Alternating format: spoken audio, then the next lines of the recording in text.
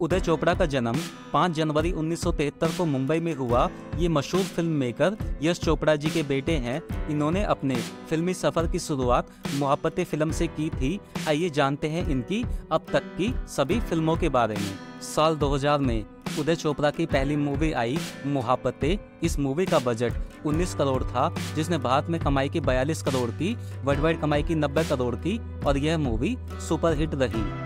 इसके बाद, सन 2002 में इनकी दूसरी मूवी आई, मेरे यार की शादी है। इस मूवी का बजट 6 करोड़ था, जिसने भारत में कमाई की 8 करोड़ की वर्ल्ड वाइड कमाई की 17 करोड़ की, और यह मूवी फ्लॉप रही।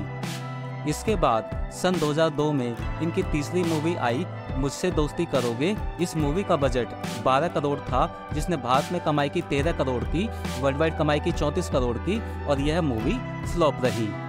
इसके बाद सन 2003 में इनकी मूवी आई सुपारी। इस मूवी का बजट चार करोड़ था, जिसने भारत में कमाई की दो करोड़ की वर्ल्ड वाइड कमाई की तीस लाख की, और यह मूवी फ्लॉप रही। इसके बाद सन 2004 में इनकी मूवी आई चरस। इस मूवी का बजट पाँच करोड़ पचास लाख था, जिसने भारत में कमाई की दो करोड़ सत्तर लाख की वर्ल्ड वाइड कमाई की पाँच करोड़ पचास लाख की, और यह मूवी फ्लॉप रही। इसके बाद, सन 2004 में इनकी मूवी आई धूम। इस मूवी का बजट 11 करोड़ था, जिसने भारत में कमाई की 31 करोड़ की वर्ल्ड वाइड कमाई की इक्यावन करोड़ की, और यह मूवी सुपरहिट रही। इसके बाद, सन 2005 में इनकी मूवी आई नील एंड निक्की। इस मूवी का बजट 7 करोड़ था, जिसने भारत में कमाई की 6 करोड़ की वर्ल्ड वाइड कमाई की 11 करोड़ की, और यह मूवी फ्लॉप रही।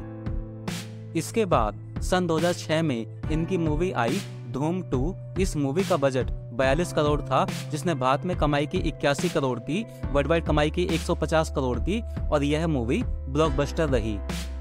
इसके बाद सन 2010 में इनकी मूवी आई प्यार इम्पॉसिबल। इस मूवी का बजट 14 करोड़ था, जिसने भारत में कमाई की 6 करोड़ की वर्ल्ड वाइड कमाई की 9 करोड़ की, और यह मूवी फ्लॉप रही।